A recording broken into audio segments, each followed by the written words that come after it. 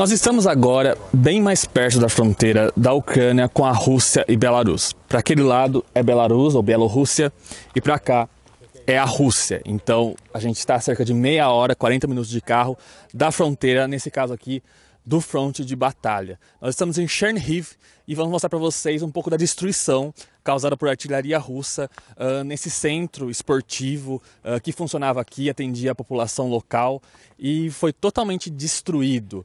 Então, as tropas russas em 2022 avançaram até aqui e aqui houve uma, houve uma batalha com os ucranianos.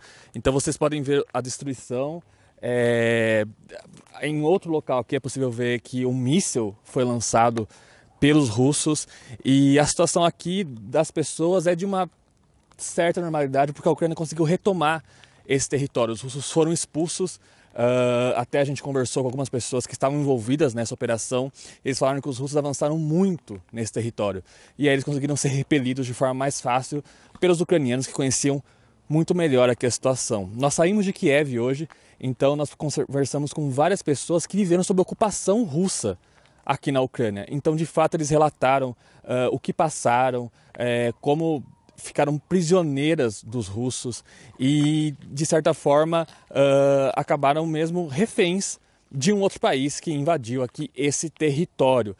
Nós vamos mostrar mais para vocês nas redes dos Metrópolis ao longo desse fim de semana. Ouvimos várias pessoas, mas no momento o que a gente tem para mostrar aqui é isso: destruição e um sentimento de que essa guerra aqui agora não está nesse território, uh, dependendo das escolhas de governantes e mesmo das escolhas do que acontecer no front de batalha, uh, pode retornar até aqui e causar mais dessa destruição.